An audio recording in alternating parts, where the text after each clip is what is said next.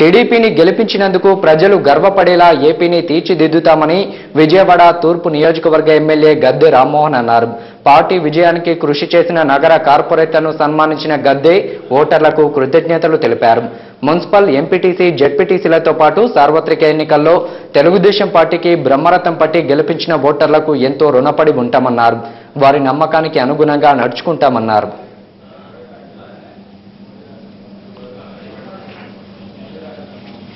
విజయవాడ నగర ప్రజలకి మేము ఎంతో రుణపడి ఉన్నాం.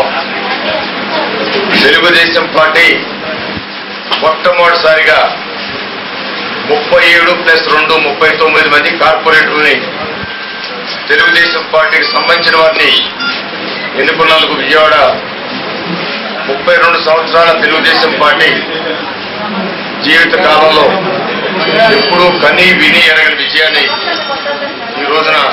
ప్రజలు మాకు అందించారు వాళ్ళకి. కృతజ్ఞత తెలియజేస్తా ఉన్నాం. మేము ఏదైతే ఎన్నికలకు ముందు చెప్పామో అవన్నీ చేసి చూపించి వాళ్ళ మన్నలు పొందుతాం. ఓటేసిన ప్రజలకి వాళ్ళు ఓటేసినందుకు మేము గర్వపడే వాళ్ళు గర్వపడే విధంగా మేము ప్రవర్తిస్తామని